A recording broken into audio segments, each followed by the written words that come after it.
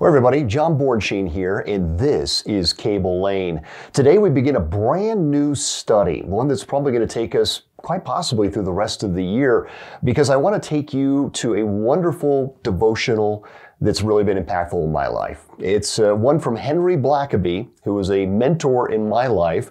In fact, while I was at the National Day of Prayer, he took time to mentor a number of us and, and really guide us through the fundamentals of prayer, how to have a prayer life that was strong and, and convicting, one that, uh, that drew us to our knees in a posture of humility before Almighty God, that we really knew how to pray, especially as the days were growing darkened, as chaos was brewing around us. He really spent a lot of time with us on how to, how to guide us through praying. And, and so I want to take you through a devotional that he gave me. And uh, it's one that's uh, quite old now. It's many years removed from maybe some of you even watching this. You may not have even heard of it, but it's called Experiencing God day by day.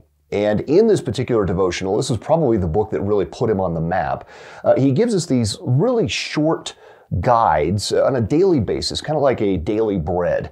And, and so I want to take you to today's. Today's is titled Truth is a Person. Now, in this particular study, he wants us to put our attention on the fact that truth is not just a concept. Truth is in Jesus Christ. John 14, 6. He is the way, the truth, and the life.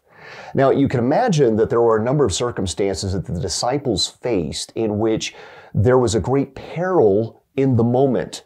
Uh, perhaps angry crowds or individuals who sought to kill them, and yet there was a calmness in Jesus Christ. The, the circumstances, though they appeared to be overwhelming, Jesus was always the calm in the midst of the storm. In one particular verse that Henry Blackaby cites here, it's in Luke chapter 8, verses 24 to 25. We read, And they came to him and awoke him, saying, Master, Master, we are perishing. Then he arose and rebuked the wind and the raging of the water, and they ceased, and there was calm. But he said to them, Where is your faith? Now, when you read a text like that, here were very capable fishermen, many of them in the boat, and, and they were looking at the circumstances. Their situation seemed to dictate fear. That was their natural recourse, that it appeared that they were going to die. Master, we are perishing. There was no other way. They were going to die in that storm. That's what the, the, the variables of the data they were collecting through their emotion told them what was going to happen. That was the outcome. But the Lord, in a calm manner, in a, in a way about him, he wasn't provoked by emotion. He wasn't overwhelmed by the circumstances. He demonstrated to them that he even spoke to nature and nature, nature listened to him. Because in Colossians, we read in chapter one, after all, that he created all things. So he, being the creator of all things, even the wind and the waves listened to him. So he was able to demonstrate great power in the midst of their adversity to show them, if you are with me, who can be against you? And so what a powerful reminder as we are up against the wind and the waves in our culture today.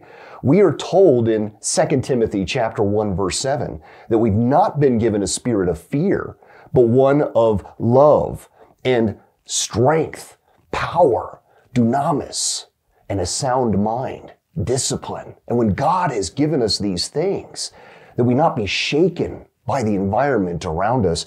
Henry Blackaby ends with this wonderful question to us Have you become fearful instead of faithful? That's a question we all need to ask ourselves because, quite frankly, the circumstances in our nation, the uh, unprecedented times in which we live, the uncertainty of it all can really cause an emotional response in us that is not of the ambassador for Jesus Christ. So we have to go back to our roots to say, we are with Christ. And if God is for us, who can be against us? Let us remember that truth is a person. And if you know Jesus Christ as your personal Lord and Savior, then you are on the side of truth and you're on the side of victory. Be encouraged today, brothers and sisters. Thank you for listening. Thank you for watching. God bless you.